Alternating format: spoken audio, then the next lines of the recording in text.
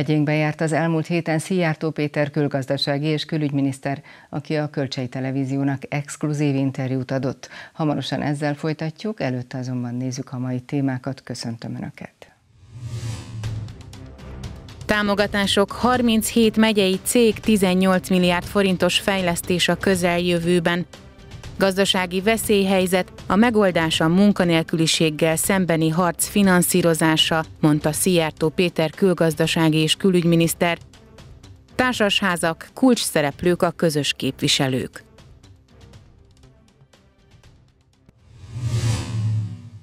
Minden magyarországi vállalatot támogat a kormány, amely a beruházások és a magyar emberek munkahelyének megtartása mellett kötelezi el magát.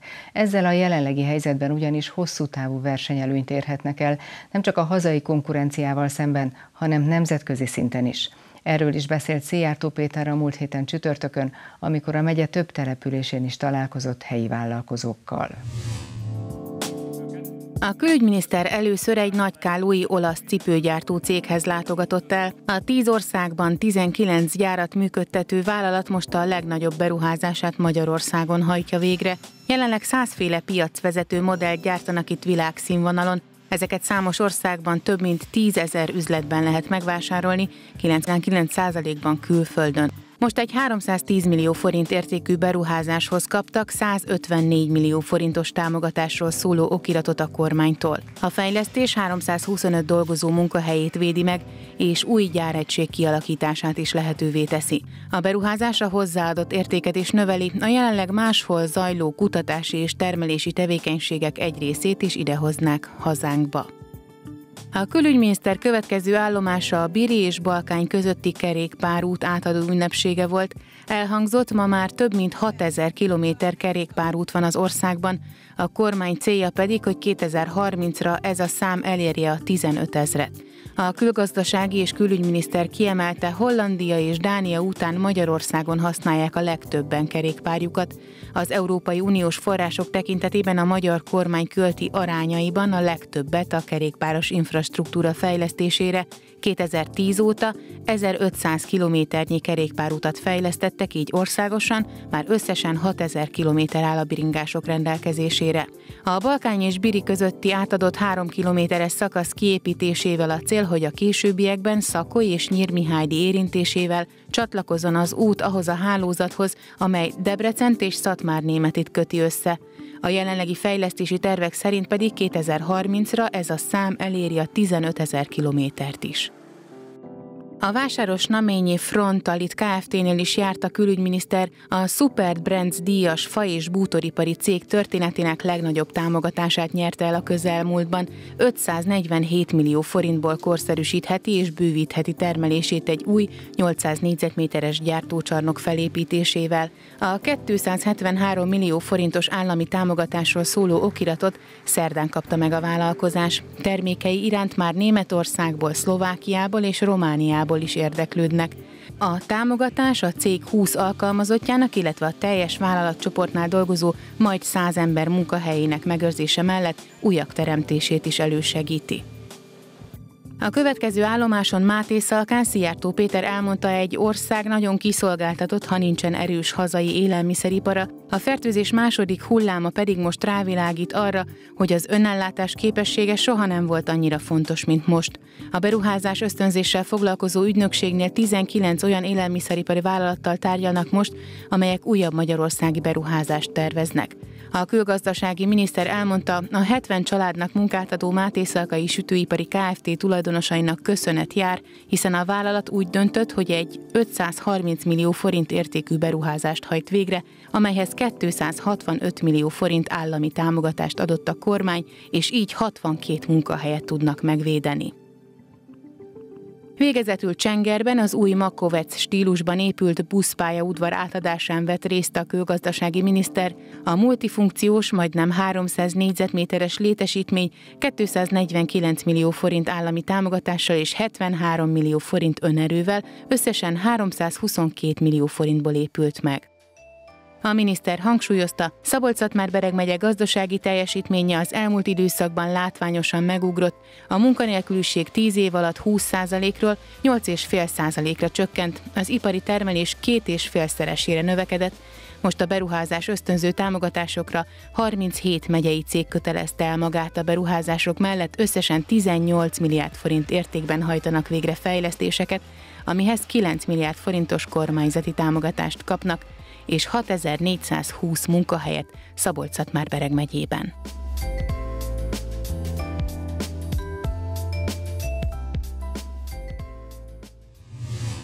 A Kölcsei Televíziónak exkluzív interjút adott Szijjártó Péter külgazdasági és külügyminiszter. Úsz Illés beszélgetett vele Csengerben.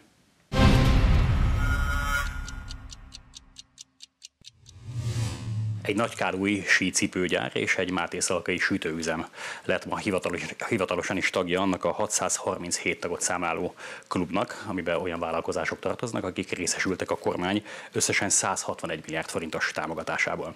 A támogató okiratot Szijjártó Péter külgazdasági és külügyminiszter adta át, akit köszönöm szépen, hogy elfogadta meghívásunkat és interjú lehetőséget kaptunk. Köszönöm is a meghívást és a lehetőséget. VNT támogatásnak hívják ezt legalábbis a, a, a házon belül a szakértők, ezt a támogatási formát. Ha pályázatról beszélünk, a VNT az jelenthet visszanemtérítendőt, de hát ez esetben a, a versenyképesség növelő támogatást jelenti. Ugye a Covid vírus hozta létre ezt a támogatási formát, és a versenyképességet próbáljuk növelni. De hát elég jelentős visszaesést mutatott a magyar gazdaság is, mint ahogy az európai is, bár egy picivel talán jobban szereplünk mi ennek a célja, mi a célja ennek a támogatásnak? Mentjük ezeket a vállalkozásokat, vagy adott esetben ez a Covid ez lehetőséget is jelent, hogy előre meneküljünk? Amikor a világjárvány beütött, akkor először nyilvánvalóan az egészségügyi védekezésre kellett helyezni a hangsúlyt, meg kellett védeni az emberek életét és egészségét. Aztán világosá vált, hogy a koronavírus által kiváltott világjárvány nem csak az emberek életét és egészségét, hanem az emberek munkahelyeit is veszélybe sodorja, hiszen gyárakat kellett leállítani, visszaesett a, a fogyasztás, elbocsátották az embereket, csődbe jutottak cégek, gyárak, üzemek. Éppen ezért az egészségügyi védekezés után a gazdasági védekezésre kellett, kell fókuszálni. A fő cél nyilvánvalóan az, hogy megvédjük a veszélybe került munkahelyeket, és hogyha egyes munkahelyek elvesznek a válság miatt, akkor azok helyett hozzunk létre új munkahelyeket. Ugye az ilyen válságok során abban mindenki egyetért, hogy a az állam adjon pénzt a gazdaságnak. A kérdés az, illetve a vita az mindig ott kezdődik, hogy jó, de hogyan adjon pénzt a gazdaságnak, és kinek adjon pénzt, és, és miből és milyen célra. És itt két iskola van, az egyik azt mondja, hogy szociális alapon a munkanélkülivé vált embereket kell támogatni, viszont van egy másik iskola, amely azt mondja, hogy meg kell előzni hogy valaki munkanélkülivé váljon, meg kell előzni a lehető legtöbb esetben, hogy valaki munkanélkülivé váljon. Itt tehát mondhatnám azt is kis leegyszerűsítéssel, hogy a, a munkanélküliséget akarjuk finanszírozni, vagy a munkanélküliség elleni harcot. És mi az utóbbit, a munkanélküliség elleni harcot akarjuk finanszírozni, azt akarjuk, hogy a magyar emberek munkahelyeit eh, védjük meg, munkahelyek jöjjenek létre, az emberek dolgozhassanak. Ez nem megy másként, mint munkahelyek létrehozásával, a munkahelyeket vállalatok hozzák létre, ezért is mi a gazdaságpolitikánk fókuszába azt állítottuk, hogy támogassuk eh, azokat a vállalatokat, amelyek eh, hajlandók eh, új munkahelyeket létrehozni, illetve meg tudják védeni a náluk lévő munkahelyeket. Ezért is VNT, jól mondja, versenyképesség növelő támogatás, jelenthetne visszatérítendőt is, mert nem kell visszatéríteni, a vállalatok által létrehozott beruházások felét a kormány megfinanszírozza, ezáltal munkahelyeket védünk meg. Összességében ugye több mint 140 ezer munkahely megvédésére került sor első ütemben, de mutatja a magyar gazdaság életerejét az a tény, hogy mikor tegnap kifizettük az összes támogatást, akkor megnyitottuk reggel 8 órakor a maradék 18 milliárd forintra vonatkozó pályázatot. 15 perc alatt le is kellett zárni, mert negyed óra leforgása alatt 98 vállalat nyújtott be beruházási támogatás iránti kérelmet, 47 milliárd forintnyi beruházást akarnak ezek a vállalatok összesen létrehozni, tehát világosan mutatja, ez a tény, hogy a magyar gazdaság igenis életerős gazdaság, az elmúlt tíz esztendő kőkemény munkája megérte, Európa egyik legingatagabb, leginstabilabb gazdaságából már a Európa egyik legerősebb gazdasága lett. 18 milliárd maradt a keretben, erre érkezett 47 milliárd igény. Ezt a különbséget, hiszen akkor lesz, aki nem fog ebből részesülni. Hát 18 milliárd forintnyi támogatásra érkezett 47 milliárd forintnyi beruházás, ez összesen 22 milliárd forintnyi támogatást tesz lehetővé. Meg fogjuk nézni ezeket a pályázatokat, hogyha mind megfelel jogilag és formailag is, akkor, akkor természetesen kéréssel fog fordulni a kormányhoz, hogy emeljük meg a támogatási összeget. Ez nem lenne, hogy is mondjam, kivételes, mert először indultunk 50 milliárdról, aztán lett 100 milliárd, 150, 169, tehát én azt gondolom, hogy világossá vált, hogy így érdemes támogatni a gazdaságot, a beruházások ösztönzésére fordított összegek busásan megtérülnek a nemzetgazdaságnak. Hogyha az iskolákról beszéltünk és a gazdaságfejlesztésről, nyilván a vírus helyzet miatt most a, a munkahelyek és az állások megmentéséről beszélünk, előtte pedig ugye a gazdaságfejlesztésben általán a befektetés ösztönzést és a magyar vállalkozások erősítése volt a cél, vagy legalábbis ez volt, a, amiről a iskolák vitatkoztak hogy sokszor érte az a vád a magyar kormányt is, hogy amikor jönnek befektetők, akkor itt összeszerelő üzemet csinálnak Magyarországból, és alacsony hozzáadott értéken végső soron munkahely lesz, de nem túl magas hozzáadott értékkel. Ebben, ha visszatérünk, és remélhetőleg hamarosan a, a vírus helyzet után visszatérünk a normál kerékvágásba, akkor melyik az az iskola, amit a magyar kormány támogat, és hogyan tudjuk azt elérni, nyilvánvalóan, hogy magyar, magasabb hozzáadott értékű vállalkozások és munkaerő érkezzen ide. A világjárvány előtt a magyar gazdaság már a dimenzióváltás állapotában volt, tehát az ön által is említett alacsony hozzáadott értékű, összeszerelő típusú gazdasági tevékenységektől egyre inkább kezdte átvenni a, a főszerepet a magasabb hozzáadott értékű kutatásfejlesztésre koncentráló, magasabb technológiai színvonalat képviselő gazdaság. Egyre több szolgáltatóközpont érkezett Magyarországra, egyre több már itt termelő vállalat kutatásfejlesztési egységeket hozott ide, egyre nőtt a hozzáadott értéke a termelési tevékenységnek, tehát egyfajta ilyen dimenzióváltás állapotában voltunk, vagyunk. És ha megnézzük, hogy mondjuk a beruházás ösztönzési támogatással ellátott beruházásoknál a fizetések hogyan alakultak, akkor azt látjuk, hogy egy év alatt több mint 40%-kal nőtt az új beruházások által létrehozott munkahelyeken a fizetés, ami csak úgy jöhet létre, hogy ezek a munkahelyek magasabb hozzáadott értéket képviselnek. És nézze, persze lehet lebecslően, bántóan azt mondani, hogy itt összeszerelő üzem van, hogy alacsony hozzáadott értékű munka van, és itt és itt de azért a világ legmodernebb gyárai hozzák a termelésüket Magyarországra. Tehát még egy, ma egy összeszereléssel lehet alacsony technológiai színvonalúnak nevezni, mert ma a technológiai, technológiai technológia az olyan szinten fejlett, hogy hogy egyszerűen a, a, a, még a legegyszerűbbnek tűnő tevékenységek is komoly odafigyelést és szakértelmet igényelnek. Hogyha két dimenzióban, fizetésben és beruházásban ránézünk Magyarországon a térképre, akkor hát ahol most ülünk itt Sengerben, vagy az ország keleti része, akkor kevésbé mutat fényes képet, mint mondjuk az ország nyugati vége.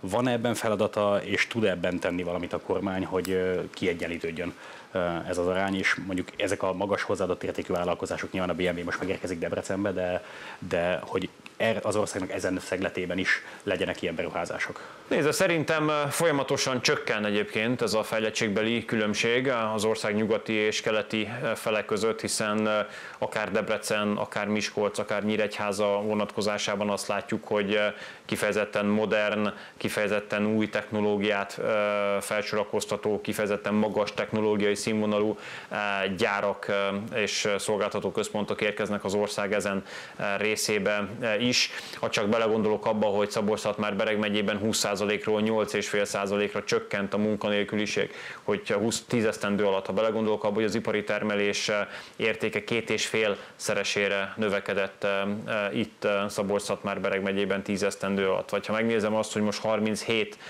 megyei beruházás mellett kötelezték el magukat vállalatok 18 milliárd forint értékben a következő hetekre és hónapokra, amihez 9 milliárd forintnyi állami támogatást kapnak, és és 6420 munkahelyet megvédenek, akkor azt kell mondjam, hogy ez a térség is egészen kiválóan teljesít. Természetesen a beruházás ösztönzés során a keleti országrészbe irányuló beruházásokat magasabb intenzitással támogatjuk, itt akár 50%-ot is elérheti egy-egy beruházás támogatása pénzügyi szempontból. Ez, ez minden esetre segíti azt, hogy a vállalkozások, vállalatok erre az országnak erre a részére is úgy tekintsenek, mint ahova érdemes beruházásokat hozniuk. Úgyhogy a, jövőben is azon leszünk, hogy hogy, hogy az ország keleti fele számára is biztosítsuk a, a kifejezetten magas technológiai színvonalat képviselő beruházásokat, ezért építünk utakat, ezért modernizáljuk a vasút hálózatunkat, mert hogy ma a beruházási, beruházói döntések egyik fontos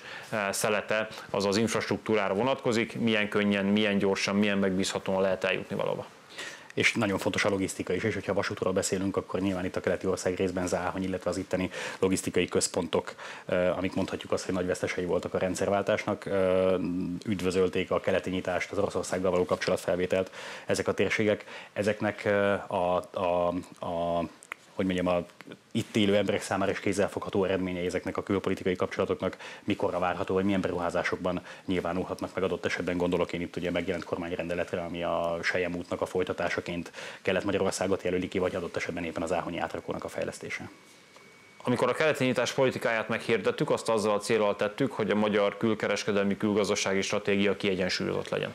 Annak érdekében hirdettük meg ezt a stratégiát, hogy az egyre elősebb keleti eh, vállalatok eh, számára is Magyarországot egy vonzó beruházási eh, célponttá tegyük, hiszen ma már globálisan nézve a keletről érkező beruházásokat 58%-ban, a nyugatról érkező beruházásokat pedig 40%-ban látjuk megvalósulni, már globálisan, míg mondjuk 2007-ben a világon végrehajtott összes beruházás 81%-át eh, nyugati tőke eh, finanszírozta. Úgyhogy ez világosan mutatja a világgazdaság hangsúlyának eltolódását a keleti irányba. És amikor a nagy keleti vállalatokról beszélünk, akkor már kifejezetten modern vállalatokról beszélünk. Olyan technológiai képességekkel rendelkező vállalatokról beszélünk, amelyek, amelyek a nyugati vetétársaikkal minimum pariban vannak, minimum elérik azt a szintet. Úgyhogy a, az elkövetkezendő hetekben és hónapokban is nagyon sokat dolgozunk azért, hogy az Európában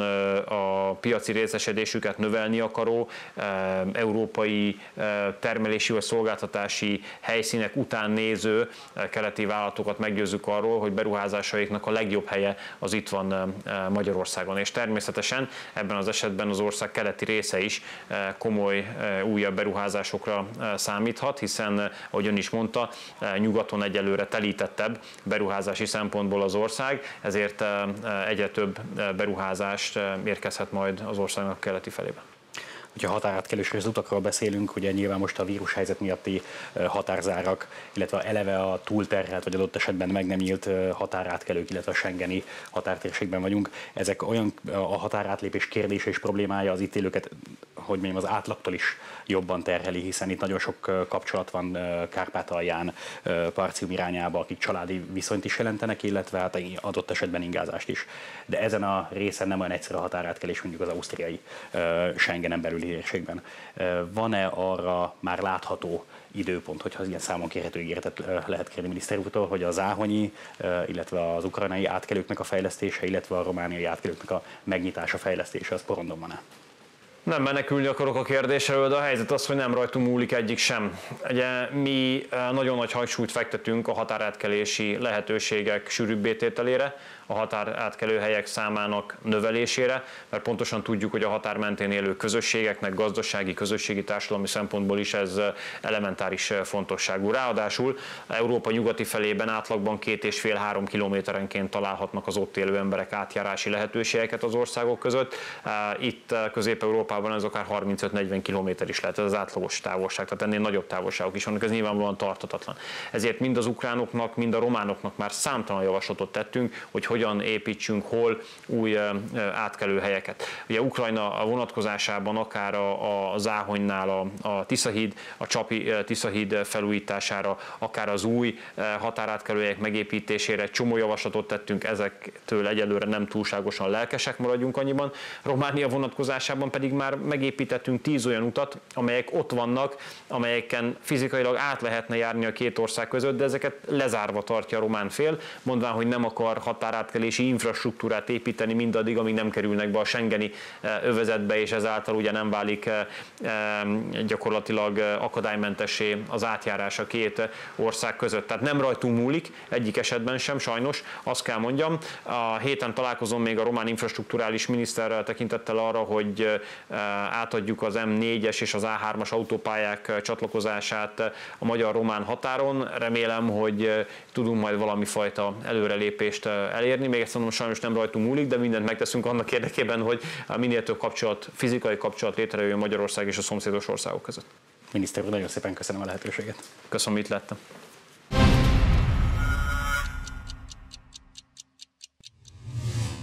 Akár 150 ezer forintos büntetésre is kötelezhető a szabálysértő hangoskodó szomszéd. A megfelelő közös képviselő szakember megválasztása egy társasház életében azért is fontos, mert csendháborítás esetén neki kell intézkednie. Márpedig ilyen eset hetente többször is előfordul az egyik legnagyobb nyíregyházi lakásszövetkezetnél. Nagyon sokrétű a feladatuk a közös képviselőknek egy társasház esetében. Jelenleg mik ezek a feladatok? Alapvetően ugye hogyha a szervezeti működési szabályzat más nem ró ki a közös képviselő feladatkörébe, amit ő természetesen el is vállal, akkor a törvény, a 2003-as 133-as törvény az konkrétan leszabályozza, hogy a közös képviselőnek mik a feladatai.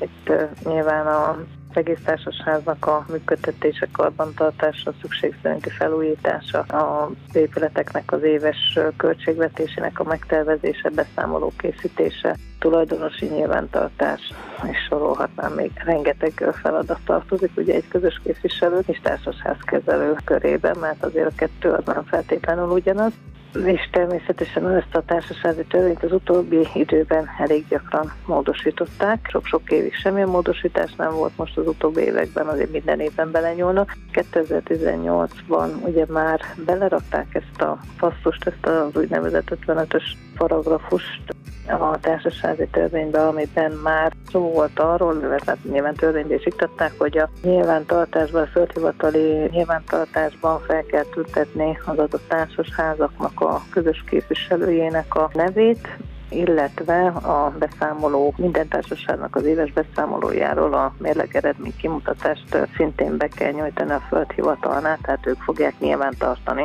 Ez az átláthatóság, meg egyértelműség kedvéért ez egy alapvetően nagyon jó ötlet, mert ugye rengeteg szolgáltató, akár az önkormányzat is gondban van azzal, hogy egy-egy társas háznak ki lehet a közös képviselője, és ezért a, megpróbált az önkormányzat ugye különféle nyilvántartásokkal ezt összehozni, de hát lássuk be, nem járt túlságosan nagy sikerre. Rengeteg társasháznál, ahol ugye nem hivatásos társasházi közös képviselők a megbízottak, hanem csak házon belül van vannak közös képviselők, vagy akár ilyen egyéni kis vállalkozások csinálják, nem feltétlenül jelentkeznek be az önkormányzathoz, már pedig nem ugye arra alapvetően az előírás, hogy be kell jelentkezni az önkormányzat hatóságához a közös képviseletnek, mint olyannak, és ugye ezt nyilvántartásba veszi az ingatlan nyilvántartási adatok közé felveszi az önkormányzat. Na ezt még most megspékelték ezzel a rendelettel, tehát a földhivatal nyilvántartás az ugye mindenki számára elérhető, bárki be tud tekinteni, innentől kezdve pedig mindenki tudhatja, akinek bármilyen kapcsolata akar lenni egy-egy társasháza, mindenki tudhatja, hogy kihez kell fordulni, aki a közös képviselője az adott épületnek. Ezt hozták már alapvetően két évvel ugye törvénybe, beiktatták. Ennek volt ugye egy rendeleti része még, amit viszont sajnos azt kell mondjam, hogy a mai napig nem történt meg ennek a megalkotása. Tehát ugye minden rendeletre, vagy minden törvényhez tartozik egy rendeleti rész, amiben tulajdonképpen a, a kormány megjelöl bizonyos feladatokat, hogy hogy kell ezt megcsinálni. Tehát az szép és jó, hogy most jelentkezzünk be a földhivatalba, de nem tudunk mi alapján, tehát még azt sem tudjuk egyelőre, hogy ez most elektronikus formában, papír alapon fog történni, milyen nyomtatvány, tehát ezek az alapvető dolgok még nem állnak rendelkezésre, hogy mi alapján fogjuk tudni bejelenteni az egyes társasházainknak, hogy a közös képviselői vagyunk, illetve hogy a, a beszámolót természetesen letétbe kell helyezni ugyanúgy, mint bármely cégnek, csak ugye itt nem a cég nyilvántartásban, hanem itt a földhivatal nyilvántartásban fog ez megjelenni. Tehát ugye elsődlegesen most a járási hivatalok vannak ezzel megbízva, de ugyanakkor a rendelet még nem történt meg a rendeleti szabályozása, és még Elvileg január 1-től már másodszor módosították, ugye először 2019. január 1-től lett volna, utána 2020. január 1-től, most 2021. január 1-től kellene ennek megvalósulnia, de egyelőre még nincsenek meg a feltételei, hogy mi alapján fogjuk tudni ezt megvalósítani. A közös képviselőhöz kell fordulni a lakóknak akkor is, hogyha csendháborítást tapasztalnak rendszeresen. Ilyenkor mi a menetrend, mi a teendő? Igen, ez egy lehetőség, hogy közös képviselőhöz is lehet fordulni. Nyilván az az egyszerű verzió. Hát mi most már sajnos azt kell, hogy mondjam, azt szoktuk javasolni, hogyha olyan mértékű a csendháborítás, ami éjszaka végén zajlik, akkor és olyan jellegű. Nem mindegy, hogy veszekedésből adódó, vagy egy felújításból adódó csendháborításról beszélünk. A veszekedésből adódó, akkor elsősorban a rendőrséget szokták hívni a tulajdonosok, és legfeljebb utólag bennünket felújítással kapcsolatos csendháborítás van, akkor ugye elég gyakran hívják a közös képviselőt a tulajdonosok, hogy nem tartják be a háziretben foglalt időpontokat. Tehát ugye előszeretettel szeretnek hétvégén dolgozni, felújítgatni a tulajdonosok, illetve az esti időpontot sem mindenki tartja be. Na most a, aki tisztességes, akkor nyilván kiírja a lépcsőházba, hogy felújítási munkát végez, és valamennyire tolerálni tudják ezt a tulajdonosok, de hát nyilván az észszerűség határain belül. Tehát ha valaki szombat reggel 7 órakor kezd el fúrni, az biztos, hogy nem fogja többi tulajdonos díjazni, és érthető módon bejelentés fog tenni a közös képviselőnél. Na hát ilyenkor nyilván a a mi feladatunk, hogy felszólítsuk a tulajdonost, hogy ezt haladéktalanul szüntesse meg. Ha, ha nem történik, ugye ez meg is tovább folytatódik, akkor tudunk az önkormányzathoz, az önkormányzat jegyzőjéhez fordulni. Ugye ő a társasházaknak a felügyeleti szerve tulajdonképpen, és ott tehetünk bejelentést szabálysértési eljárásra, és ott utána már az önkormányzat folytatja le magát az eljárást, és szükség esetén akár bírságot is kiszab. Ugye ezek főleg a felújításokra vonatkoztak, de gondolom ugyanez a menetrend akkor is, hogyha rendszeresek mondjuk a bulik vagy a hangos veszekedések. Így van, így van. Hát ilyen ügyünk is volt más sajnálatos módon, mikor ugye fiatalok laknak egy-egy társasházban, és főiskolások, egyetemisták, és néha dorbézolnak, egy kicsit nem abban az időpontban, amely még az emberek tőlőképességét el tudná viselni. Ilyenkor, ugye, hogyha ez gyakran előfordul, akkor kénytelenek vagyunk ugye a lakóknak, a tulajdonosoknak a határozata alapján eljárást indítani ellenük, és akkor bizony megyünk az önkormányzathoz, és ott a szabálysértési hatóság az lefolytatja az eljárást, tanúk meghallgatása, és akkor ők hoznak egy valamilyen határozatot, hogy most akkor pénzbüntetést, vagy pedig egyéb büntetést rónak királyuk. Mert bíróságig azért nem nagyon szokott fajulni a dolog. Egyébként milyen gyakoriak ezek a bejelentések, vagy azért a lakók odafigyelnek arra, hogy mi van a házi rendben? Hetente jön egy-egy ilyen bejelentés, de azért elég sokszor előfordul az, hogy azt kérik, hogy még ne indítsunk eljárást, de tudjak róla, hogy ilyen probléma van, és hogyha következő alkalommal szólnak, akkor valamit lépjünk ellene. Tehát nem, azért nem azzal kezdődik, hogy rögtön akkor feljelentést teszünk, hogy eljárást indítatunk. Mindig megpróbálunk egy valamilyen békésebb eljárást lefolytatni előtte, akár úgy, hogy a két érintett felet, vagy akár ha többen vannak, akkor több felet behívunk, és megpróbálunk úgynevezett békéltetést véghez vinni, hogy ne kerüljön sor itt eljárásokra.